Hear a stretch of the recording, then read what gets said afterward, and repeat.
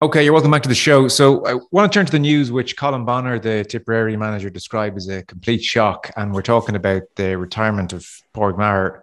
Still not quite 33 years of age, 13 seasons with Tipperary, has started every single championship game since 2009. He's a triple All Ireland winner. He has six Munster medals. He was an All Star winner on six occasions, seven county titles, Thurles Sarsfields. And if we're keeping count of everything, three All Irelands across minor and under 21 level as well. So one of the really uh, great players in the history of the game, and he's with us now. Uh, great to have you on. Thanks a million for the time. No matter, Joe. How are you? Yeah, very well. Are you Paudie or Padraic, or what's what am I calling you? Uh, I sure suppose it's, it's easy going to Paddy. I suppose I don't really okay. mind now, to be honest. Okay, Paddy it is. So, Paddy, a lot of people uh, a couple of weeks back would have been watching you, or a couple of months back, maybe two months ago, would have been watching you in the club county semi final, an exceptional performance, and they would have said, geez, there's still plenty of life in this fella yet. So, this announcement, like Colm Bonnar says, is a complete shock to us. Can't be uh, far behind for you when it comes to the shock value. What's what's after happening? Yeah, Joe. So I suppose uh, that game you, mentioned it, the county semi final. Um, played that, we managed to win it, and I felt great playing it. Uh, to be honest with you, and there was a two week two week break then till the county final, and uh, obviously we trained away the, that following week with the club, and we trained hard, and um, it was the following. Yeah, the following Monday, then which should be the week of the county final. I just started feeling great, I suppose, in my neck, and I was getting a few headaches and stuff. So um, at the time, the COVID was getting rife. I was like, oh no, I'm after catching the COVID now the week of the game, and I didn't know what to make. But thankfully, it wasn't COVID anyway. But um, but yeah, and then uh, I took it easy that week. Uh, played the county final. Uh, didn't feel great playing it. Didn't feel. I felt worse after it. Um, and then that match was a draw. So with two weeks again to the replay, so I just said like I'm to take rest up now, um, and look after myself. And and what were what were the symptoms, uh, when you say between the semi final and the final you didn't feel great? In what way? Yeah, to just my neck started get my neck area started feet getting sore, and I knew just it wasn't t- it wasn't right, like you know, I was getting tightened up, and then I was getting headaches as well. Right. You're probably almost so, thinking it was like a neck spasm or something, were you? Yeah, I didn't. I didn't. I thought maybe a tight muscle or you know that kind of way or something. But um, yeah. But yeah, the, played the replay the county final, felt back poor again and then we obviously got beaten. And I just said, right, go take a handy now for a few weeks. Spoke with the doctor. He said, just take a handy rest up. Um, and I didn't feel as bad. Now I get a headache and that here and there, but didn't feel as bad. And then I got an extended break by Colm Bonnar. And then um, I was coming back last, I was due to go back Tuesday night training. So there about two weeks ago, the doctor said, look, we'll, we'll, we'll get, we'll get you scans and stuff just to make sure everything's okay. Um, and we can we can tear back into the train. And, and I suppose luckily and unluckily I, I, I went and got the scans done and they showed up something that the, the doctors weren't happy with in my neck so um, met an expert uh, I suppose expert chair on Friday and he more or less gave me the news that look if I was to continue I'd be putting myself at great risk um, going forward that the damage could get a lot worse you know if I get a shoulder the wrong way or my neck flips back the wrong way or whichever. So um, yeah, when he explained it to me in, in, in detail that on Friday afternoon, I think the decision was black and white for me then. And um, yeah, bit of a shock, all right. But sure, um, I looked his, his uh, I've had a decent career all the same. I can't complain too much. God, that is out of nowhere. Your head must have been all over the place when he's spelling this out to you, saying it's over. Are you, are you telling me I'm done here? Like you can't. How, how, this can't be happening. Yeah, it was. Um, I probably suppose I think I'd say left his office in a kind of a in a in a fog, and I probably didn't ask half enough of the questions that you know. It was actually only Sunday and Monday that I kind of realized, geez, I need to get in contact and, and find out more because I kind of left in a bit of shock, sure, like as you would, like. But um, will they, will they say what they say when people get bad diagnoses? You know, if they hear a certain illness, they don't take in very much after that word is spoken. So I, I can imagine you, you walked out of there in a daze, all right. And you, it's probably a day later, you're thinking, hang on, what exactly is happening here? Yeah, exactly. That's it. Like, and, and look, I, I, I spoke with immediate family and stuff over the weekend and look, everyone was kind of on the same opinion. Um, you know, your health is most important and going forward. And as you said, I'm 32 now and I have a lot going on in my life. So, um, look, the doctor said you walked in a fit 32 year old, obviously this small issue, but he says, you want to be able to continue on and, and enjoy your life and be and look, he said you'll be perfectly healthy going forward once you take the risk of of this away from it. And look, that's I was left with no option really then. So it's the risk of contact, effectively, of exactly yeah. your yeah. neck going unexpectedly in a certain direction. It can yeah, it can be a neck, but even sure, like you could get a shoulder in a game, or you know, into the front or the back, rat, and, and your neck could go a different direction, or you know, it can easily so happen. Like, and uh, he said, look, hurling obviously is, is massively physical game. So he said, like, you know, even you know, that Atten could Atten could set it off, you know, that kind of way. So um, look, I was left with no, I was left with no choice really, and um, I even put the question to him if I gave up intercounty, could I continue the club a bit? And he said, "Well, you're you're, you're doing the same. It's the exact same activity." So unfortunately, that's the way it finished. But um, but look, in a way, I'm kind of I'm kind of uh, very lucky that this was all picked up when it was. I could have back in training Tuesday night tonight again. You know, being involved in the league and one one bang could have uh, done a lot of damage for me. So, and like Paddy was paralysis uh, potential here? Is it that serious? That black and white? He he went well. If you if if you left, like how many times he said, do you want to get, you know, keep getting hit before the you know it really gets bad, like you know, and you know, it was, it was the way he put it to me that you know you, you walked in, you're 32 years of age. Do you want your girlfriend to be picking you up in a few years' time off the couch and and bringing you to bed, this kind of way, you know? But look, a doctor's always going to go to the most extremist, you know, because having to do with the neck and the head, and in fairness and do the neck and the head is serious. So they were taking no risks. And look, I spoke with three or four doctors and they were all of the same opinion. So um, yeah, look, it's disappointing, but um, to be worse to be worse if I was 22, Joe. No, that's true. That is true. And there was no party, I presume, that had that streak of madness to say, another season or two, I'll take my chances. Yeah, well, look, no, and I suppose there's so many people telling you what what the best decision is, and look, I'll be very close with my with the two doctors. I was from around home here as well, and um, they were very honest and straight up with me. You know, I've worked with them for several years now through the club and the county, and they told me straight up, look, it'll be it's the best decision. You'll be 100 percent kind of wrong to go against it, and yeah, that was kind of it. Like, and you know, and fairness, the doctors won't be able to see me, can't stand over me walking out into a hurling field or going up training, you know, and looking at me tugged out when the risk is there. So looked was the best decision all around, I think. Yeah, no, they couldn't in good conscience.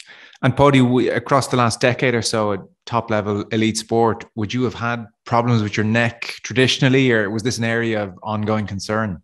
No, to, it wouldn't have been, and I can't recall that in major either. Anyway, you know, um, no, I had no real issues, thank God, in that area. So, um, look, I still have to meet one or two um, specialists in relation to it, you know, and just go over certain things and I suppose they're going to probably give me a lot more answers as in how old this injury is. Is it like, is it, did, did this happen over a period of time, but the symptoms just showing up, you know, at the end of last year, or was it just a new injury? So, um, look, to be nice to know all that, but at the end of the day, the main decision is made now. And as I said, once I take the risk of the physicality out of it, um, I'll hopefully have a, a perfect, uh, healthy life.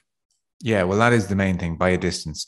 And you don't remember any particular knock in training across those two weeks? No, and the doctors are obviously asking the same thing. I can't recall one major incident where I said, Jesus, that's after that's after knocking me back or you know, that kind of way. But um, you know, training's gone so physical now, you know, conditioning games and things like that, that you're you're getting several hits at night training. So um look, it's probably just it's probably a very freak accident in a way and very unlucky, but um but look, as I said, I can't complain too much. I, I had a good time of it. What's been your overriding emotion over the last few days? Yes, honestly, still coming to terms. To be honest with you, um, look, I'm no spring chicken. I'm 33 next week. Um, you know, but you know, I felt good apart from that. You know, I felt very fit. Um, up to that, uh, you know, I said I was, I definitely had another year in me with with intercounty, and I was going to see how that go. That went. Um, and obviously, then usually when a player gets to retire from intercounty. He usually gives two or three years back to his club when he's when he's in in, in some way good shape. And uh, you know, I was looking forward to that as well. And unfortunately, that's that's more or less gone as well now. So um, that's probably the bittersweet pill to swallow. Really, you know. Look, I had 13 seasons with Tip. Thoroughly enjoyed them. Um, I kind of get over the, the, next year or two with that, but it's the couple of years at the club is, is a bit of a killer, all right. This is some void to arrive into your life unexpectedly, isn't it? I mean, I would guess, just like any other intercounty player, we're talking three, four, five nights a week, and probably plenty of thinking time as well, and conversations, and your identity is wrapped up in it. And for that to have the rug pulled from underneath so quickly is a shock to the system. So this is a big void to fill over the next weeks and months ahead. I'm sure you're that's crossed your mind once or twice. Yeah, it is. I suppose, as you said there, you said it all really that you know you're you're always thinking about you know tonight now the boys are going training the pitch you know, that would be on your mind all day. You're looking forward to a league game on Saturday there to start National League. There's always something there. Your mind is always constantly revolved around the hurling, you know, and uh, you know what you're putting into your body as regards nutrition, and you're constantly on the go. Like, and now that's kind of all kind of even relaxed for me. Um, it's going to be a lot, big bit bit of a change because ever since I, I joined the Tipperary Minors as a 17 year old, I've been constantly involved in it. So um, yeah, look, it's going to be a bit of a change to take a bit getting used to. But um, look, there's a lot of people. I've been getting great support, in fairness, and you know the GPA have even been on to me for any support that I need is there, and you know it's great, like you know, and um, you know there's great camaraderie there. But yeah, it'll be a big void, and I'll have to concentrate now on getting the golf handicap down a bit. I think, Joe. I suspect you might have the hand coordination to be a decent golfer somehow. uh, your teammates must have been taken aback. Almost, is this some kind of weird joke or something? I mean, like, did you, did you tell them in person or you sticking into WhatsApp group? I, would say, you, I mean, you haven't been able to speak to all them in person, obviously. No, and it happened so quickly then. And when I kind of had a definite answer of what I was going to be doing, um, I just kind of said, to, I said to my my family that look, I want to get this out there as quick as possible because my own head was was a bit frazzled all weekend. I was just kind of way down a bit with the with, with everything. So I said, I just want to get it out there and we try and move on. And obviously, then the lads are starting the National League on Saturday, so I didn't want to be getting in the way of of um, you know of them either and their preparation. So I just wanted to get it out there and we'll all move on. And uh, yeah, thankfully, I, to honest with you, I felt a bit relief when I got it out on the Tuesday, and uh, we just moved on. And um, but yeah, I only I only met one or two of the lads last or over the weekend, and I just explained to them the story, and they did get a bit of a land all right.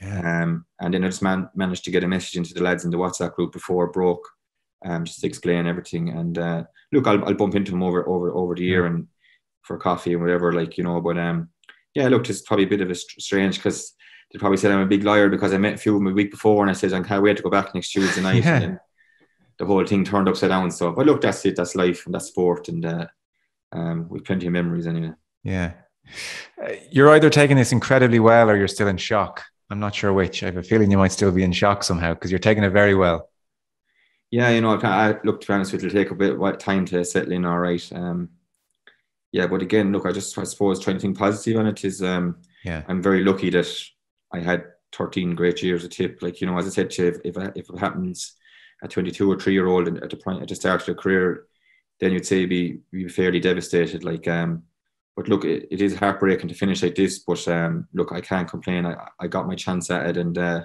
while a lot of other lads couldn't have got the opportunity, I got mine. So um, I'm very grateful for that as well. Were there any messages that resonated with you?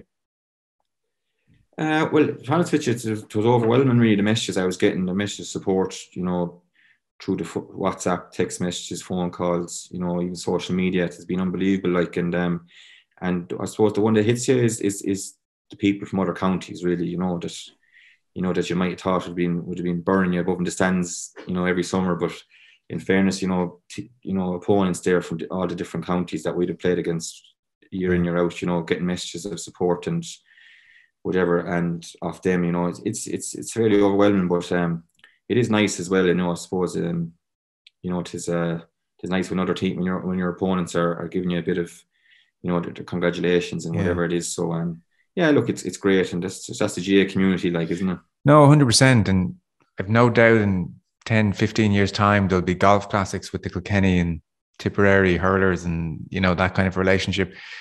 I wouldn't dare ask you to reveal what was in any of the messages, but what kind of opponents, for instance, dropped you a line? Um, like, if, like as you mentioned there, Kilkenny, a couple of Kilkenny boys would have sent messages.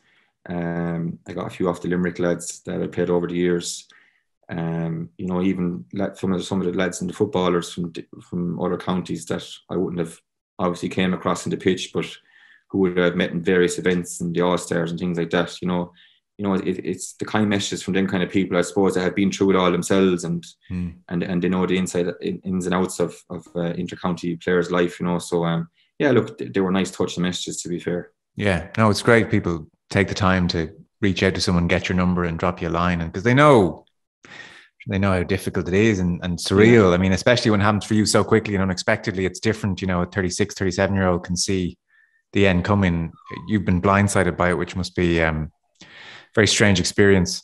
So, usually when you do, do these retirement careers, we get people to reflect in their career. You're probably that you know maybe not quite ready to have those kind of conversations, but you must uh, look back with a huge degree of pride. I mean, across 13 seasons to have started every championship game since 09, three All Irelands, the Munster titles, to be an All Star on six occasions. Uh, that's a fairly extraordinary haul. Uh, do you retire I'm sure you're getting used to that that sentence. Do you retire with um, a lot of satisfaction and, and, a, and, a, sense of a job well done? Uh, I suppose when you look back at it, yeah, it is. I've been lucky enough, I suppose, to manage to win an Ireland medal, which is, I suppose, what it's all about, really, at the end of the day, at intercounty level. But um, I look, I suppose, the the, the real the competitive, you know, person inside of me and, and the greedy player, uh, it probably wanted one or two more. You know that kind of way you'd go back over the years, we lost finals to Kilkenny or whatever, and you'd say, geez, we could have snuck that one or that one. It's pity. But I uh, look, when, it, when the dust settles down and I get a chance to reflect properly, I, I can't be, too, I can't complain too much for uh, the career I've had, to be fair. Yeah. Anytime I've ever seen you interviewed, you seem like a fairly even tempered guy and like working in the Gardaí. I'm sure you have a good sense of the world beyond sport and a good perspective. So you never struck me as someone who was like swallowed up by the obsessive you know nature that some people can approach their sport with. Have i have i read you wrong there or did you always have it in a in a healthy box? Uh, to be honest with you i suppose from when i started up to maybe i was in my mid 20s i probably would have been all consumed with it. Um you know as regards you know everything revolved around the hurling. You know if i was working and the job didn't suit me or my training i i nearly give up the job. And I'd go without a job until I got one that suited me. Do you know that kind of way? Right. Okay. Um, but then, as you said there, you know, I joined the guards then um, during my mid twenties, and uh, I suppose got a bit of perspective in life and seen other things. And obviously, as you get older, you, you get a bit of perspective as well, and you you, you kind of see what's really important. And um, no different to the last few days, and you, when I understand, mm. you know, what's important. And uh, look, at the end of the day, sport is there to be enjoyed, and while you have to take it serious, um, I suppose now I understand that it's not to be all in and end all. And would you say you enjoyed that first half or that second half of your career more? Um, I suppose the first year or two I enjoyed it because I didn't take it as you know, as I, as I said, I was enjoying. I was only a younger lad. I wasn't. Yeah. I, I had no chip in my shoulder. But as you get older, then you, you kind of take more. You know, you take the criticism on board. You take you take the plaudits on board. Everything is kind of, you know, your mind is constantly racing, and you know, as you get older, then you probably experience, you get the experience with it. And yeah, probably the second half of your career is probably a bit more like, yeah, I enjoyed it. I, I, I you know, if someone said something about you, you wouldn't take any notice, good or bad. You know, you mm. just move on, and and uh, that comes just the experience of and, and going through the ups and downs, really. Yeah, because actually Tipperary take a fair bit of flack, don't they? Like, certain certain counties get a kicking, and uh, even despite your three All Irelands uh, within the county, there'd be criticism, and even outside the county, there'd be well, they can't follow up success with success kind of a narrative. So I'd say you've turned off the radio in anger a few times. Uh, look, again, I suppose it be, you weren't trying to listen too much, but yeah, look, I suppose Tipperary supporters are, are, are very um, demanding in that, you know, they always expect to be, you know, there, thereabouts every year, which is fine because I suppose they have been a successful county over the years. Um, you know, if you go through the roll of honour and that, but um, yeah, look, I suppose we, as I always said in interviews before and asked that, like, we're we're very demanding of ourselves as players as well in Tipperary. So um, look, if things aren't working out for us, we'd always be trying to figure out why. And you know, so I suppose we're no different to we're no different to the rest yeah. of the people involved. You know, look, you can be calling them rubbish and all sorts of names from the stands now. It's easy out there. yeah, I, I, I think I sit back and just watch it quietly now. I'd say. What's your man Ronan at? Jesus. um, in training, I'd, I'd say you know such you're up against such quality forwards, and you know, Eamon O'Shea pulling the strings, and like God, when when when Tipperary were moving, they were really a joy to watch and played some just phenomenal hurling. Uh, who was that uh, regular opponent in training that you saw jogging towards you for the training matches, and you thought, "Oh, geez, here we go again."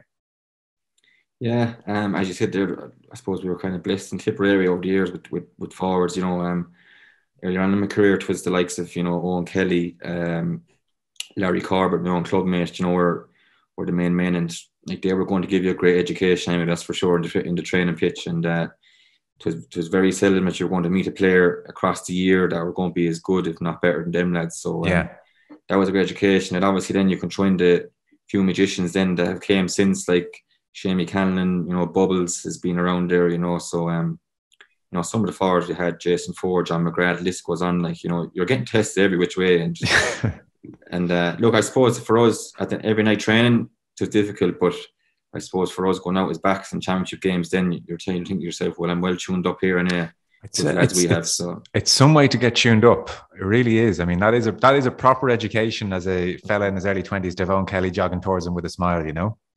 Uh, unless you get pace in a train and then the conference is low going to the championship game, but uh, I know exactly. Looked, we had we were, we were blessed with the with the talent we had. In fairness. What about opponents then? Who were the opponents that you you felt? God, that was a really good, proper scrap. Yeah, I suppose. Um, I was asked that question during the week as well, and like I started out marking the likes of Henry Shefflin, like you know, and was that uh, in the first? Was that in? So you came on the scene, the 09 final, which is one of the great. You know, I know it's ultimately ended in a bad way for Tipperary, but came back and won in 10. So maybe it's not as painful. But 09 is one of the great finals for obvious reasons. Is that where Henry sought you out as the young lad? Yeah, I would have actually marked him in the league. We played him in the league final that year in Thurles and went extra time. It was a cracking game, but um, I managed to do okay in him that day. And I was actually centre back that day and he was centre forward. And then the All Ireland final, I was full back.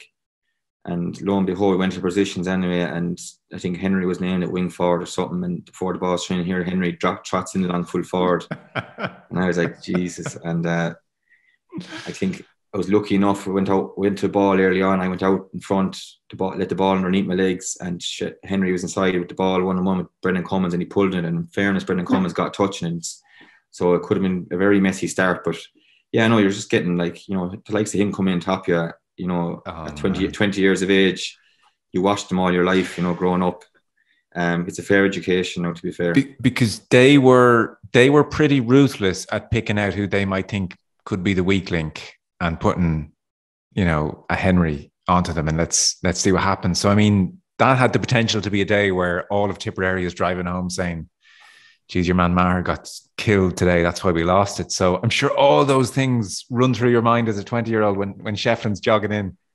Yeah, lucky enough, yeah. But maybe the fact that I was 20 maybe helped helped the situation. Maybe. I was yeah. and, and I wasn't I didn't have experienced too many, you know, I suppose bad bad experiences, I suppose, at that stage. But um yeah, look, the carefree attitude probably helped me at that stage, you know. Yeah. And and what without getting too into it, like Shefflin's a genius, obviously. What was your kind of method in trying to mark him? Like you mentioned, being out in front for an early ball. Would you would you try and be out in front of him? Would you always have half a hold on his jersey and and, and be sticking to him like glue? Would you stand off him a little bit in certain instances? How do, how do you approach someone like a Shefflin? Yeah, well, I suppose I, I was talking to one of the lads around. The game was a lot different back then, as in it was was kind of more you you stick to your position and you fight with your man for the ball, whether it comes in low or high. Whereas right now, obviously, there's a bit, there's a lot more, you know, movement and tactics involved in hurling now. But um, yeah, I suppose you you always in the back of your mind when you're marking the likes of him, like uh, Joe Canning, some that you know you can't, you know, oversell yourself in certain situations because these lads will punish you, you know, um, very easily. So um, I suppose you have to play it a bit cuter and be able to read the game a bit, a bit better and quicker um, when you're marking the likes of them and I had I've had to do it plenty of times over the years, you know, between Henry, you know, like said Joe, TJ Reid, you know, Hoggy, Blow and Cork, like there's there's list is endless of the players you had to you had to take on and yeah, I suppose, you know, uh, grateful to have to share the field with a lot of them too, obviously. Yeah. Who gave you your toughest day? Which day would you? Because I just remember you being brilliant all the time. So I mean, I'm sure, like to be honest, I'm sure a lot of people just have a memory of you being a solid eight to nine or ten out of ten kind of player. Uh, what DVD would you not like me to dig out and have a, a look at? Who gave you a tough day? geez, just to think now it is hard to uh, nobody pick up.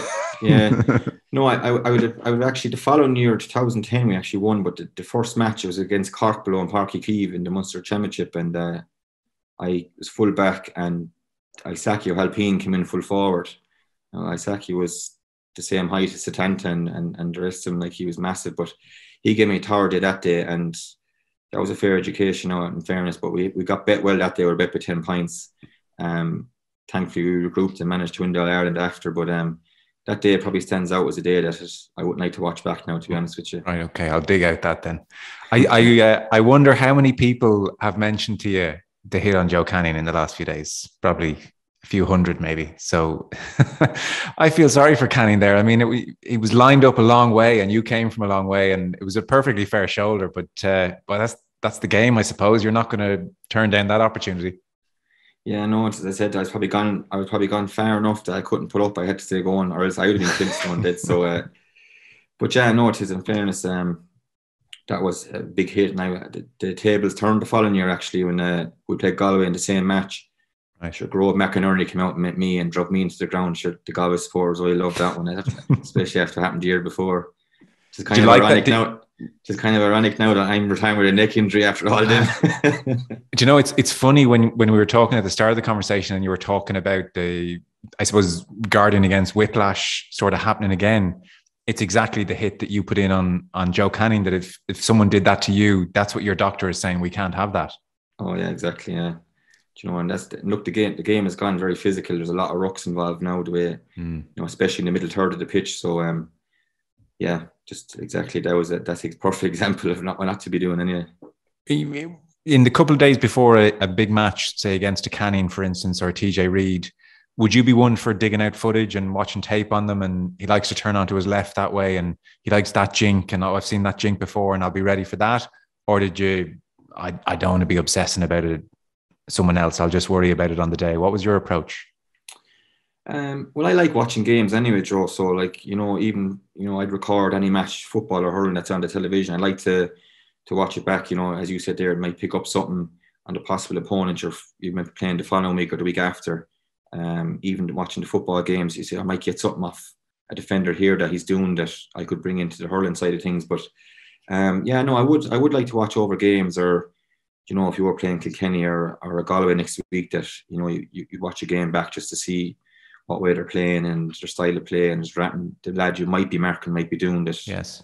You want to keep an eye on. So um, I think a lot of players like that now anyway, the way video analysis has gone. But um, look, I enjoy games anyway watching them. So it was no it was no burden way back to, to, to watch it anyway. Would that stuff come in useful? Would you find it would help on the day then that a nugget you picked up from tape? Because people often say with visualization they really enjoy it and they they find stuff they have visualized really does come to fruition on the day. Did you find watching tape would correspond to what might happen a few days later?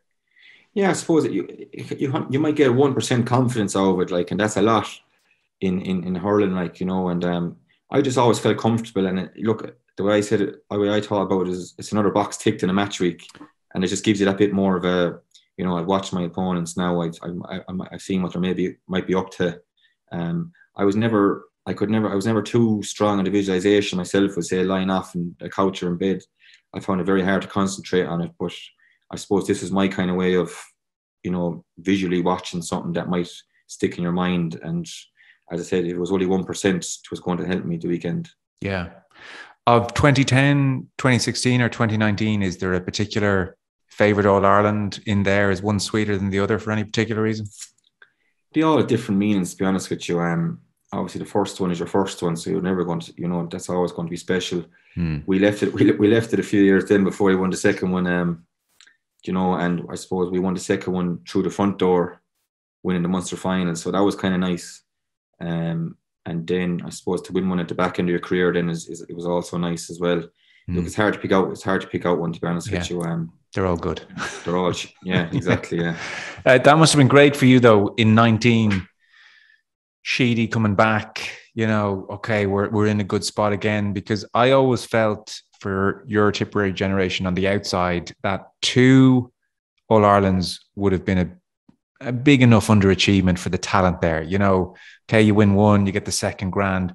I feel like three really rubber stamps a great team. You can say, well, that's a great batch. I don't know if you were thinking that way around 2019, but for me, I thought, ah, that CV feels a lot more complete. It's amazing what one extra one can do. I don't know if you see it in those terms at all or think about it in that way at all. Yeah, no, I suppose yeah, you'd be trying to be successful. Like, like and again, being greedy. Four, four sounds nicer as well. Like you know, so. but you know, look, we came we came up against you know fantastic teams over the years. You know, obviously the Kilkenny one stands out. Yeah. We had a great we had a great little rivalry with Galway there through the years as well. Um, you know, there was only of ball separating us there in three years in a row. Um, you know, and then obviously um, Limerick have come to the fore in the last number of years. So yeah, we've, we've played against some very good teams as well. You know, so you can't be too greedy either. No, no, you can't. Um, three is definitely a lot better than two, but I appreciate four and five would have been nice as well. It was a great era. Yeah, I mean, how do you? I mean, in your head, the Kilkenny team are they still the best? You know, that 09, 010 period versus you've seen this brilliant Limerick team now and Galway in the midst. I mean, how do you rank or separate them, or is it impossible to do that? I suppose they're, di- they're different. I think they're different styles. Um, you know, different times in hurling. Like when I started out, whenever it was back in 2009, the game has changed a lot since then. Like you know, and um, it's a lot more tactical now, a lot more kind of structure. You know, short passing games, kind of. Whereas back then it was, you know, it was high intensity, lashing the ball up down the field and made a best man win kind of thing. Yeah. Um. Yeah, but in fairness, look, the Kilkenny team were unbelievable, all over the pitch. Like even they could bring him off the bench as well. Like it was you know, if you see off one lad, you have another like coming off the sideline that's is probably as good, like, you know, so they will stand out as probably one of the greatest teams, yeah. Yeah. Yeah, absolutely. Uh, do you prefer the modern day style as opposed to 09 when it was just ball after ball landing in on top of you in Shefflin in 09? Uh, well, as a backman, I probably prefer the 09 times because the ball was just being as it hit, hit up and down the field. There was no real pinpoint passing. Whereas now, you know, you take, I even played in full backline last year and you could be marking a, a nifty forward there and the ball has been pinpointed into space to him and it won't be delivered until he's ready or he makes the right run, like, you know. So the game yeah. has changed. But look, different challenges we all had to change with it. So, like, you know, I enjoyed I enjoyed the challenge of recent times as much as the challenge of standing toe to toe with a lad back in 10 years ago, you know. So, mm. look, it was, it was all it was all enjoyable and you had to adapt at different times, but look, I suppose that's what that, that's what, that's what the game needed. It does strike me as very challenging now for a defender, in that, as you said, the ball's not going to be delivered to your man, say in the full forward line, until he's ready and he likes the angles of things and he makes the run and it's into space and it's precision. You don't really get a sniff there if a ball's fired in from 25 meters. Whereas I'm sure there there are times in 09 where you feel like you're whatever the dynamics of where, say, a Shefflin or someone is next to you, you kind of feel like, yeah, go on, launch that in because I'm actually in a better position here. And they're not spotting that from 60 meters away. And so you win the ball and you look great and you come out and you've beaten Shefflin to it. Whereas you could you could probably go 10, 15 minutes almost without getting even a, a hand on on the ball or your man these days when it's fired into him so well.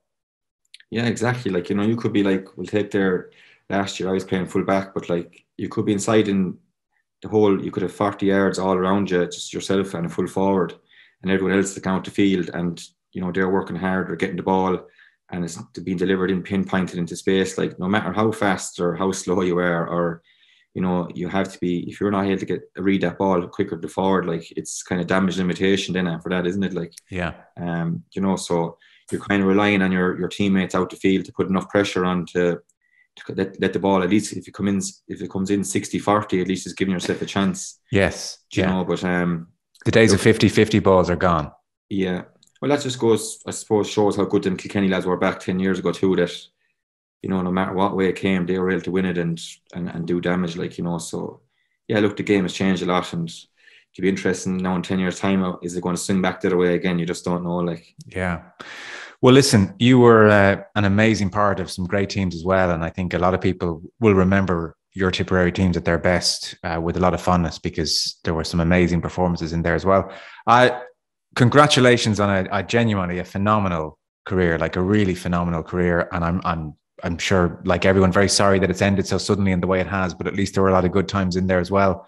So, uh, Paudie Maher, best of luck with retirement over the next couple of weeks and months. And sure we might chat to you again. Thanks so much for the time. Cheers, Joe. Thank you.